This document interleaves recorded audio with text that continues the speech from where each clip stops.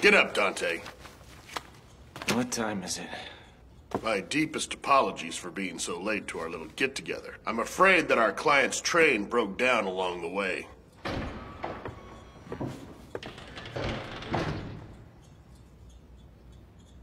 Anthony? Huh? It's me. I'm Ernest. Don't say you don't remember me. How about you tell me how it's possible you remember someone you've never met before? Just the way you speak. I'd know that cranky attitude anywhere. There's no doubt about it. Hmm? I can understand why you'd rather not remember all that. That was a terrible event. But at last, at long last, I can clear you and your mother's names. I found irrefutable evidence that it was all caused by a demon. There's no doubt, Dante. You gotta believe me.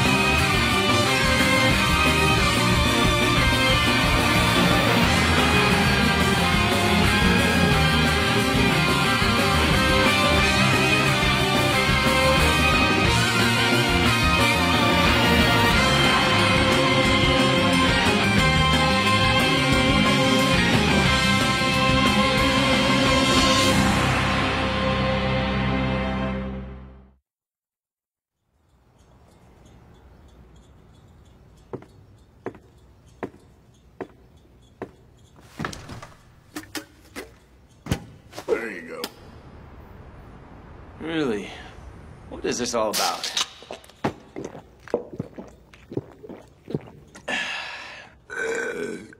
You were late, and then what you brought wasn't a job. And tell me, what the heck was that guy talking about? I thought you'd be interested. Well, he's seen a bunch of stuff like that. Hmm. Twenty years ago, in a small port town called Morris Island, there was a fire that wiped out the whole town. The majority of the townspeople died in the fire, leaving only a few survivors. But afterwards, some of the survivors gave testimonials saying that a demon had attacked the town before the fire broke out. They investigated, talked to eyewitnesses who swore they saw it, and none of these people's statements contradicted each other. Everything checked out. But nobody would believe their stories. I suppose not. That guy who was here was one of those survivors. As was this Anthony character. And his mother lived through it too. What was this whole clearing their names thing about? All the people in Morris Island said that Anthony's mother was somehow responsible for setting that fire. Needless to say, they weren't very nice to Mom. So, what ended up happening to their mother? She took young Tony and they fled from the town.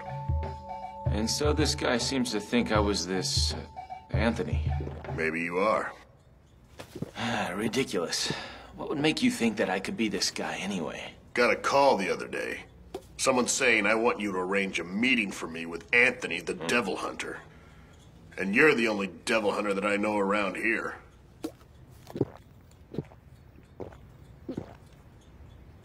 Dante, you sure the name Anthony doesn't ring any bells for you?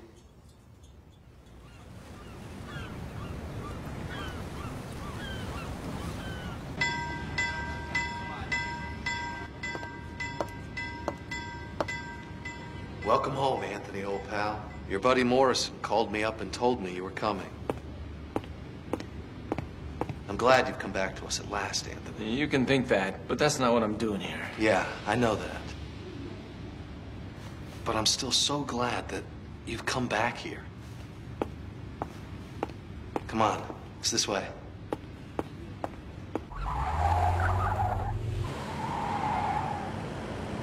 I've said it before, and I'll say it again. I'm not Anthony.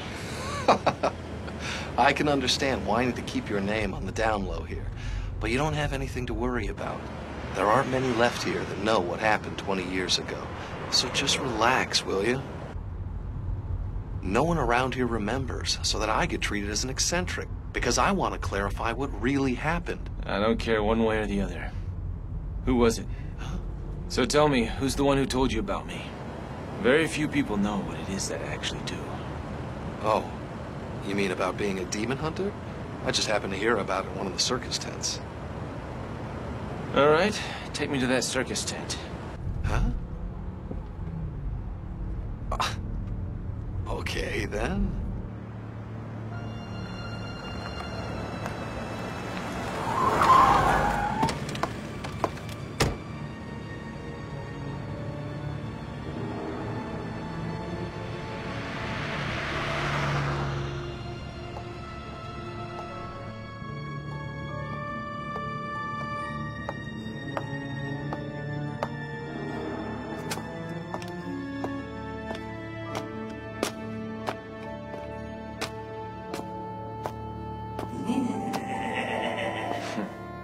Course, it's you.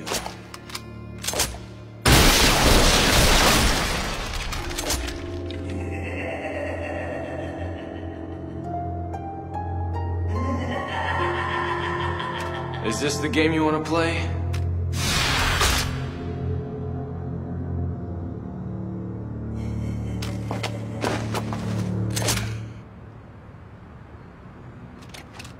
Why would you pull a gun here? Just saying a little hello. Man, you've really got some attitude. What happened? Listen, Anthony, it looks like the circus is on holiday today. Let's get out of here. I know that our teacher, our teacher will be so happy to see you. Your teacher?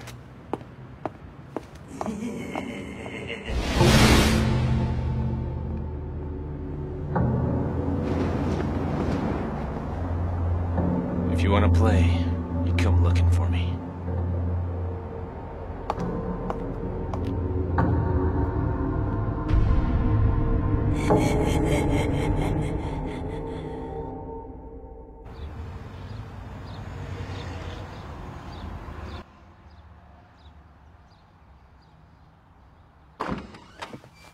Miss Margaret, I knew you'd be happy to see Anthony again. Anthony. Sorry to disappoint you, lady. This guy just keeps calling me that. It seems like Anthony doesn't want anybody to know who he really is. Well, can you really blame him? So, Anthony, how is your mother doing? She's dead. She's been dead for a long time. Really? Sad to hear that. At that time, I wished I could have helped your mother through some suffering and sadness that she endured. She was so despondent in the end. Miss Margaret, I think you should know right now Anthony's working as a demon hunter. I see. You really come a long way, haven't you? Good for you. Miss Margaret, you think it's okay if we tell Anthony right now, don't you? Of course. That's why we had him come here after all, Tim.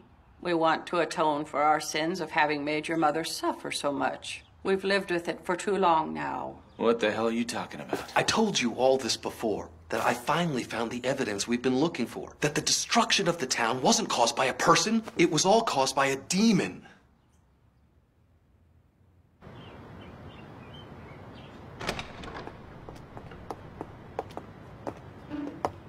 Ruins? Yes. You're not planning to summon the demon from the ruins, are you? Oh, you're good. You see through my whole plan, don't you? So, did your buddy in the circus tent happen to tell you about that too? The uh-huh. hidden meaning of the town ruins. How some people are able to summon the demon there. The trustworthy guy who gave you the idea that I'm Tony. He told you everything. What exactly is wrong with that? I mean, I really did get to see you, after all, Anthony. Do you know how long I've waited?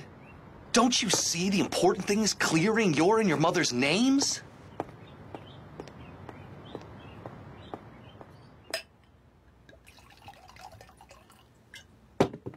Brings back memories, doesn't it? Well, the celebratory toast's a little delayed, but here's to seeing you again, Anthony. Hmm. What? Oh, Ernest, you're back already? Welcome home. Let me introduce you. This is my wife, Elise. Oh, my. Uh, he's a lot bigger than you made him out to be in your stories. Well, of course he is, honey. Every story I've ever told you is from when me and Anthony were just little kids. Time waits for no one. Oh, I guess you're right. Sorry. Oh, and I'll start preparing dinner. You don't have to do that right now. You just got back from work. Stay and have a drink with us. But darling- Why don't you just slow down, relax, have a little chat with Anthony, okay? I'm so sorry. This is the first time Ernest has ever introduced me to one of his close friends. Well, you don't have to worry too much about me, lady. I'm used to the idea of being alone.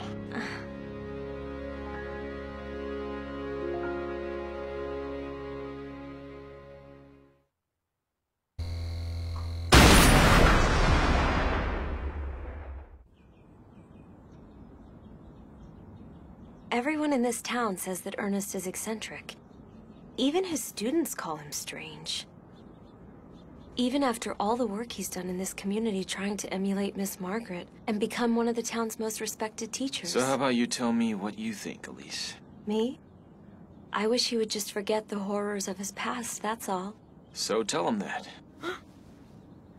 I have. I don't know how many times. The truth is, even he was on the verge of giving up. Miss Margaret has fallen sick and all. But then one day he came home ecstatic, saying that he could clear up that event that happened 20 years ago and that he would be able to meet you. In his mind, you are something special.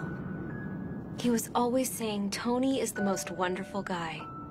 Once he gets to talking about you, he could go on all night long and still have more to tell. I know everything there is to know about you. Oh, wait. There is one thing I don't know about you. It's probably none of my business. And I really don't mean to pry, Anthony.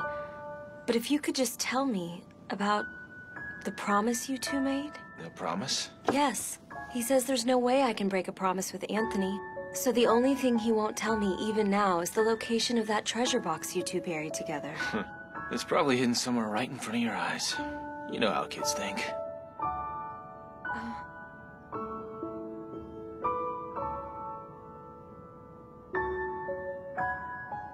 You really aren't... You're not him, are you?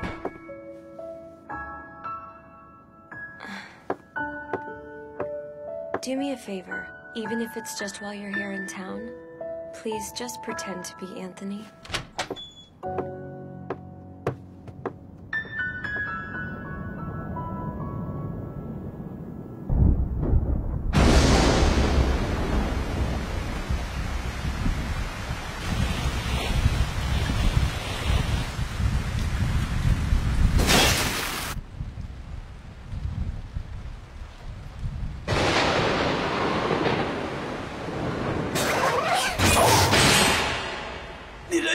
Time no see. I went to the trouble to see you at the circus in the afternoon, but your manners are sadly lacking. I thought about saying something, but by then you were gone.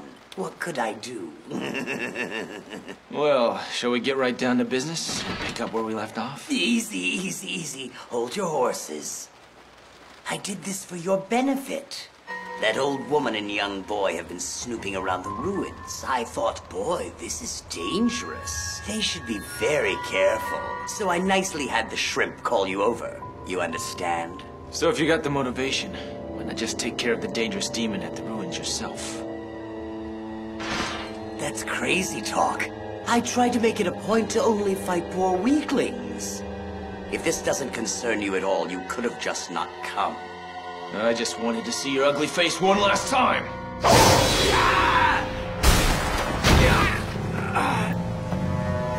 You're so scary. In the end, you were drawn here by the smell of a devil, weren't you?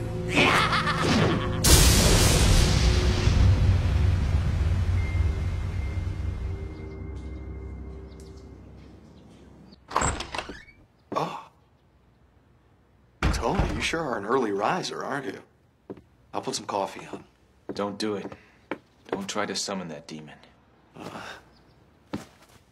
what are you saying? Tell me, what are you planning to do if you are actually able to summon the demon? If humans were capable of defeating them, that tragedy that happened 20 years ago never would have happened. Or have you been relying on me from the beginning? I have no intention of asking for your help, Anthony. Don't play tougher than you are. I can lower my fees if you need be. Don't worry about it. I'm ready. That thing won't even serve as a security blanket. Does Elise have any idea what you're planning to do? This has nothing to do with her. You have to understand, Tony. This problem concerns me as well, man.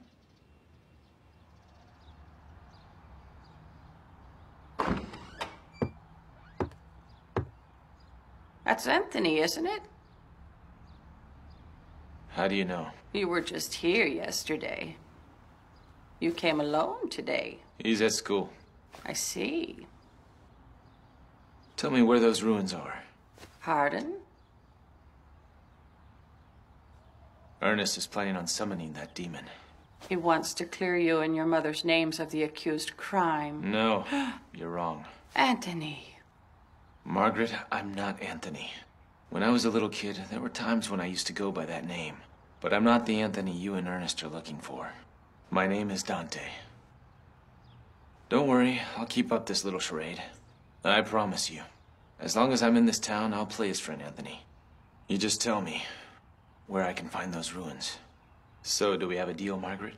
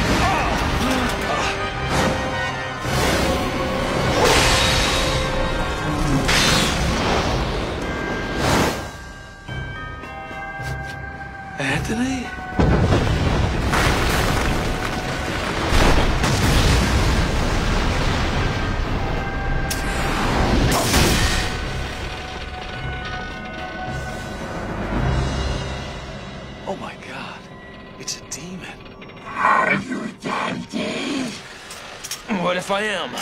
Anthony? As you're the savage man, I was wondering what you'd look like. You're just a kid.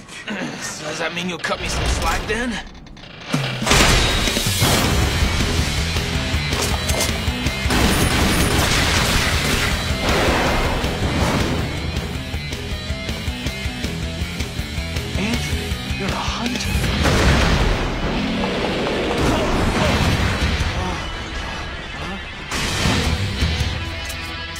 Go on! I'm the one this bastard wants. So you are. I'm here for your blood, Dante. Because the moment I have your blood, you will handle a man born of human and demon.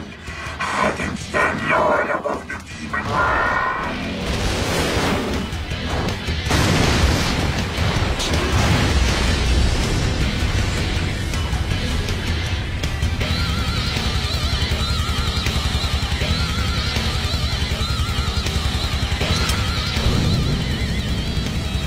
Years ago, the reason that demon attacked our town is that it. He. he wanted you. Oh.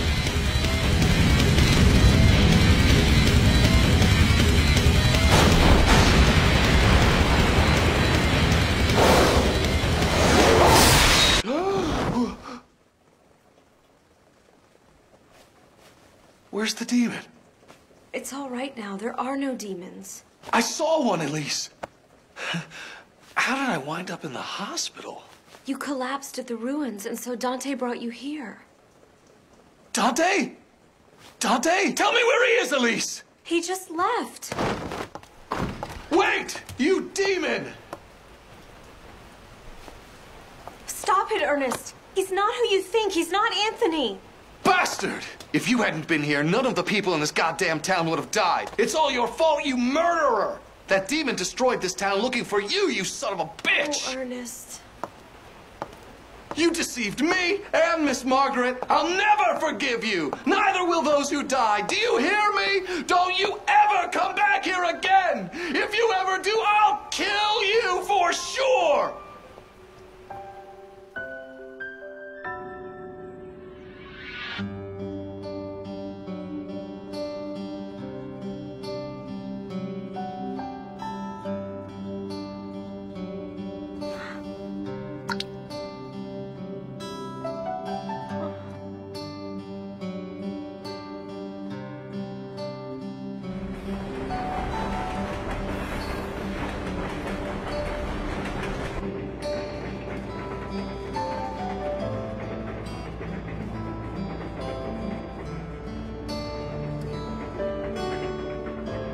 Saw it all.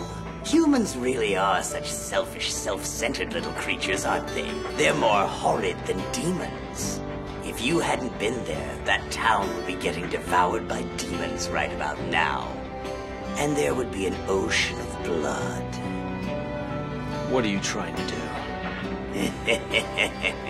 Something that'll be of use to you, Dante.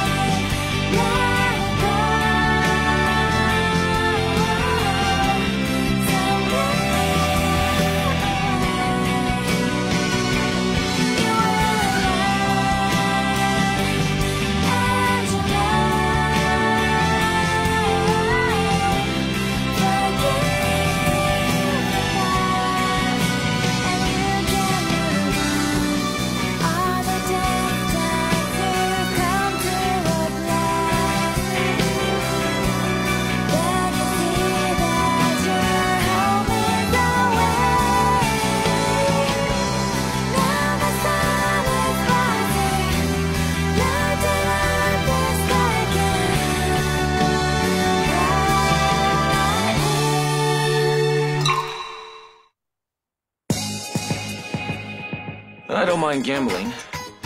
For one thing, the tension of those win-lose situations is similar in some ways to the feeling I get when I hunt demons. In the end, I guess I just can't be satisfied with a normal life. But a person should never do anything excessively. There's nothing more stupid than gambling oneself into debt. Even worse, if you go as far as to lose your own life. Don't miss the next mission.